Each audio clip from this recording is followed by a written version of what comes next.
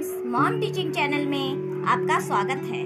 आज मैं टॉपिक में सिंगुलर प्लूरल लेकर आई तो वीडियो शुरू करने से पहले आप मुझे लाइक करें शेयर करें और सब्सक्राइब करना ना भूलें। तो आज की वीडियो शुरू करते हैं। ये मेरे सिंगुलर प्लूरल हैं।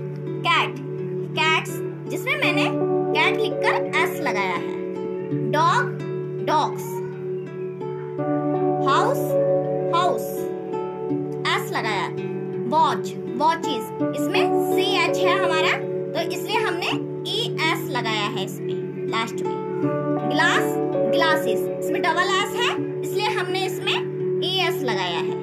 Apple apples box boxes X है इसमें लास्ट में तो इसलिए हमने ई एस लगाया है। विश विशेस इसमें भी ई एस लगाया। Bench benches mango mangoes. इसमें ओ है, इसलिए ई एस लगाया है। इस तरह से बच्चों को सिंगुलर प्लूरल की प्रैक्टिस कराएँ। Add E S if word ends with जो हमारा वर्ड रहता है लास्ट में, जो लेटर हमारे आते हैं, उसमें हम ई एस लगाते हैं। तो वो कौन कौन से हैं? ये मैं तुम, आपको बताती हूँ। जैसे सी एच है S S S H X Z S O ये जो भी हमारे लेटर आते हैं वर्ड्स के पीछे। उसमें हम क्या लगाते हैं? ई एस ये बच्चों को समझाएँ। फॉर एग्ज़ाम्पल के लिए, जैसे C H C H last में किसमें आता है? वॉच में। तो हम इसमें वॉचेस लिखेंगे। इसमें ई एस लगाएँगे। एस एच ब्रश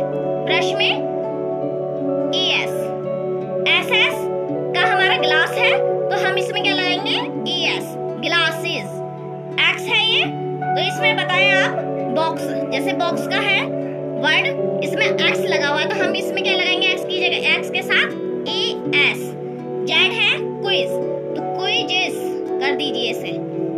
एस है एस का वर्ड होता है बस तो हमने क्या किया इसको? बसेस कर दिया है। तो इसलिए इसको ई एस लगाएँगे इसमें।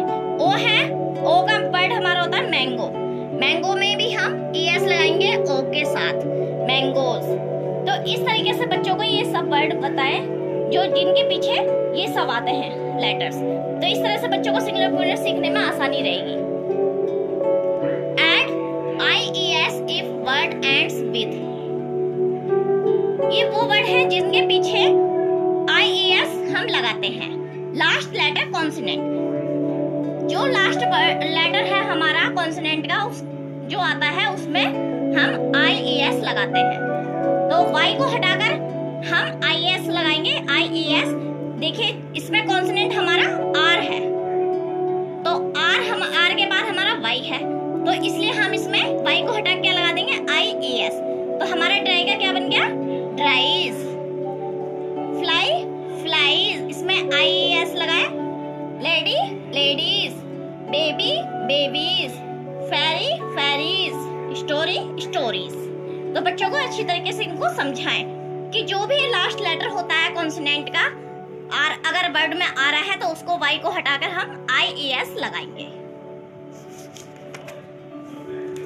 Many nouns add S to show that there is more than one person things animals और प्लेस जो भी हमारा नाउंस है, उसमें हमारा एस लगता है।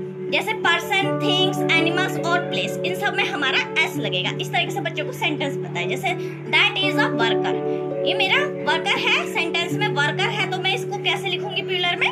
दोज आर वर्कर्स वर्कर्स इसमें एस लग गया है।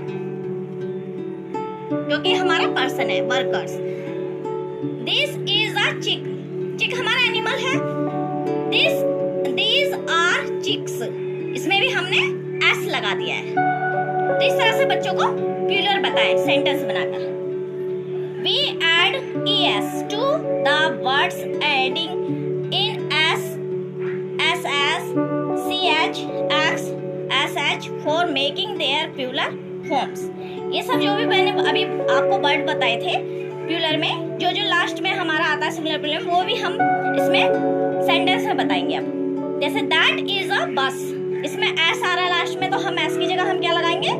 ई एस तो हमने इसमें ई एस का यूज़ किया है। Those are buses this is the peach तो इसमें सी एच आ रहा है, देखिए। तो हम क्या लिखेंगे? दीज आर पीचीज इस तरीके से बच्चों को सेंटेंस के रूप में सिंगुलर पिलर समझाएँ और इस तरह से वर्ड्स समझाएँ। बच्चों को अच्छी तरीके से समझ में आएगा सिंगुलर पिलर थैंक यू